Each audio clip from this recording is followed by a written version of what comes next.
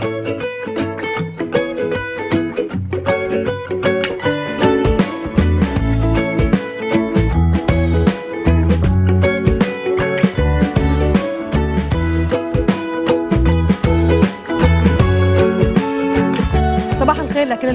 اليوم نهار الاثنين 28 آذار مارتش 2016 وعلم صباح جديد وفقرات جديدة. من هلا ولغاية الساعة 1 بتوقيت بيروت. إن شاء الله بنعاد على الجميع. فصح مجيد للجميع. وين ما كنتوا عم بتابعونا إن شاء الله بتكون هالأعياد تحمل كل الخير لكم ولكل أفراد عائلتكم واليوم لأنه كلكم قاعدين ببيوتكم.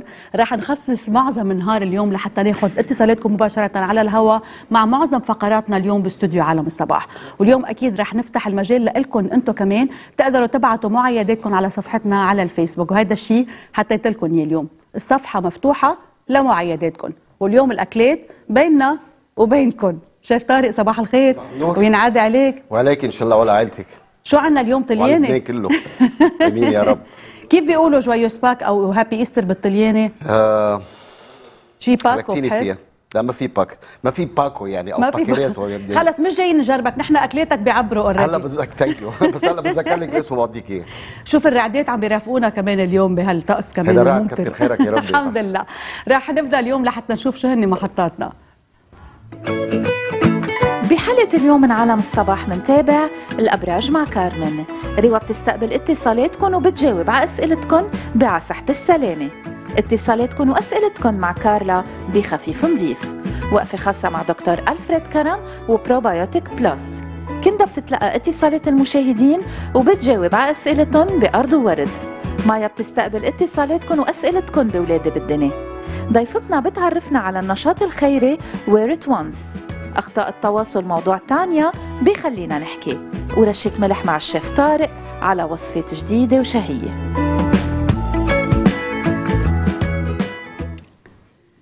وأول محطه معنا بعالم صباح مثل العادة مع كارمن والأبراج.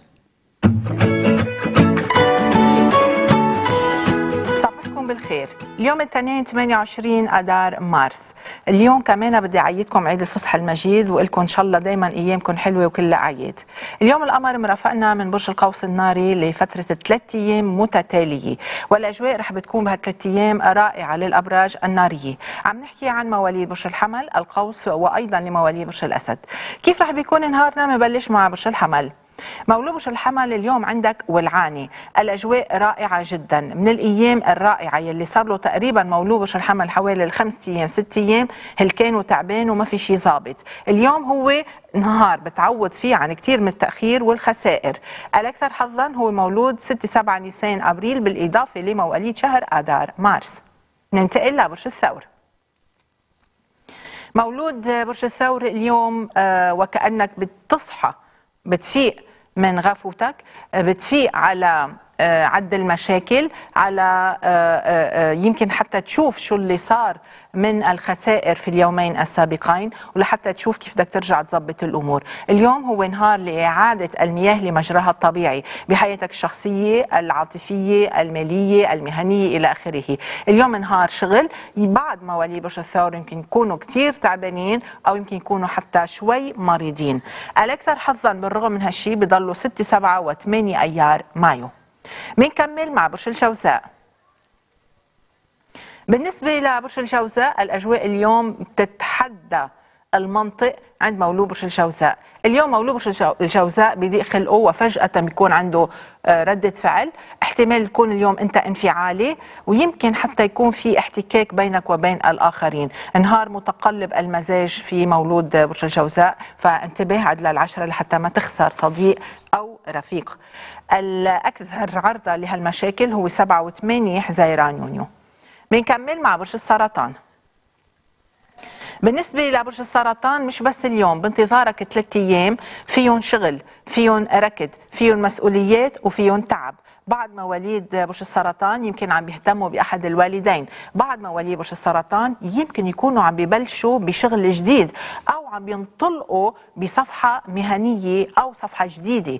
الأجواء متعبة بجميع الأحوال وبيضلوا الأوفر حظا نسبيا. هو مولود 10 ل 17 تموز يوليو. بنكمل مع برج الأسد. بالنسبة لبرج الأسد أنت اليوم رائع. من الأبراج الكثيرة الحظ. اليوم مولود برج الأسد أنت شايف حالك مبسوط معرم ومعك حق. ثلاث أيام ورا بعضها الأجواء حلوة كتير عند مولود برج الأسد. هلأ فيك تقعد ما تعمل شيء فيك ترتاح تاخد إجازة. وطبعا هيدا هو أكثر غلط الإنسان بيعمله لما بيكون الحظ حلو. لأنه بهيك نهار مش بس اليوم في ثلاث أيام ورا بعضها محظوظ أنت جدا. وبهيك نهار بحلل لك وبفك لك أكبر عقدة. اتحرك اليوم قوي قلبك ما تخلي موعد ما تاخده بهالثلاث أيام. الاكثر حظا مولود تموز بالإضافة 8 ل 12 آب أغسطس. بنكمل مع برج العذراء؟ مولود برج العذراء اليوم وبكرة وبعد بكرة. مولود برج العذراء ما طالع عباله يشوف حدا ما طالع عباله يسمع صوت حدا اليوم مولود برج العذراء مزاجي شوي منك مرتاح تعبان أو بتتعب بسرعة بتروح على البيت صريخ الأولاد انزعاج الطبخة ما عجبتك. يمكن تفش خلقك بأقرب الناس لإلك وهنا يكمن الخطأ. بدك تروح على شغلك أو على بيتك وطول بالك عليهم لأنه آه، بالأماكن يلي أنت تشعر فيها إنك مرتاح يلي هو المكتب اللي أنت قاعد فيه أو البيت اللي أنت قاعد فيه هونيك تظهر المزاجية فبدك تطول بالك شوي على حالك. الأكثر تعبا 2 و3 أيلول سبتمبر. بنكمل مع برج الميزان؟ مولود برج الميزان اليوم فيلسوف اليوم وبكرة وبعد بكرة. عندك أفكار كتير كبيرة كتير مهمة creative artistic اليوم مولود برج الميزان إنسان شخص قادر إنه يقطع محيطات ويتواصل مع الآخر بفكرة بإلهام. يمكن حتى بطريقة جديدة تخطر على بالك. طبعا الدراسة منيحة المعاملات منيحة المفاوضات منيحة كل شيء في تواصل مع الآخر بالحكي بالكتابة بالأفكار حتى باللقاءات بالاجتماعات كله ناجح جدا.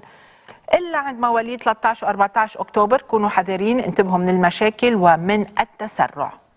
بنكمل مع برج العقرب. بالنسبة لبرج العقرب الأجواء اليوم معقولة تحمل لك بعض المصاريف فبعد عن المشاكل. مولود برج العقرب أحد الأشخاص آه، أو لسبب ما هنالك مصروف إضافي فبعد عن هالأمور بقدر المستطاع إذا بتقدر وانتبه لمسائل صحية. بضلوا الأكثر حظا 13 ل 18 تشرين الثاني. بنكمل مع برج القوس.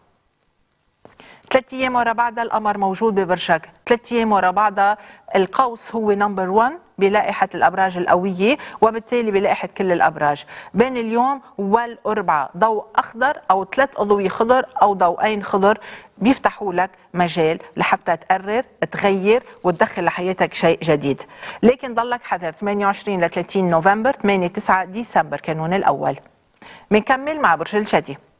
مولوب شلشدي نبهتك؟ إنه الأجواء صعبة. مش بس اليوم اليوم وبكرة والاربعاء أجواء صفر ما فيك تتكل فيها على الحظوظ بالمرة بتاتا. انتبه لحالك لصحتك ولنفسيتك. بعد عن المنافسات وما تعمل حالك بطل على الإطلاق. تخبى بيكون أحسن. الأقل حظا 7 8 و9 كانون الثاني يناير. ننتقل لبرج الدلو بالنسبة لبرج الدلو ثلاث أيام حلوين كثير آه، بتهيص فيهم بتحتفل فيهم بتفرح فيهم وبتعوض فيهم عن اليومين الصعبين شوي اللي مرقوا. اليوم مولود برج الدلو عشرتك حلوة صداقتك حلوة آه، في دعم بانتظارك فما تستحي إذا بدك شيء من حدا إذا بدك خدمة من حدا دق الباب. الأوفر حظا 9 10 شباط فبراير. بنكمل مع برج الحوت. بالنسبة لبرج الحوت ما تفكر إنه هيدا نهار كيف ما كان. ثلاث أيام ورا بعضها. مولود برج الحوت أنت تحت الأضواء الإيجابية. بمعنى أنه في احتمال وصلت لك الفرصة لتطرح فكرتك أو لحتى تفتح الباب. بدك تكون ذكي محضر حالك. إذا واصل لهالنقطة من الزمن بهالسنة إيد من قدام إيد من ورا ما معك خبر مش فهمان مش دارس ومش محضر يمكن تخسر الفرصة. الأقل حظا واحد أدار مارس الأوفر حظا 9 10 11 12 أدار مارس. بختم مع مولود اليوم. بانتظار مولود اليوم سنة كتير حلوة لأنه هيدي السنة بتفتح قدامه باب سفر باب تعارف باب ثقافات مختلفة cultures جديدة. في نوع من تقدم مهم جدا مختلف عن كل التقدم السابق. هيدي السنة بتعيش فيها تجارب جديدة وحلوة. نيسان أبريل أب أغسطس ديسمبر كانوا الأول أفضل الأشهر إلى اللقاء بكرة أبراج جديدة. bye bye. إن شاء الله يا رب تكون كل العائلات مجموعة مع بعضها وبنعرف إنه حتى مع الصعوبات الجغرافية صارت كل عائلة بتقدر تكون مع بعضها عبر كل وسائل التواصل الاجتماعي. يعني حتى لو كنتوا وين ما كان فيكم تعايدوا بعضكم بس بضل أكيد الجمعه على الطاولة الوحدة هي أحلى شيء. العيد إن شاء الله بيكون مجيد للجميع وخاصة إنه هالفترة رح تضل يعني فترة أعياد طويلة بقى أكيد خليكم معنا بعد لحظات رح نكون مع اتصالاتكم خليكم معنا.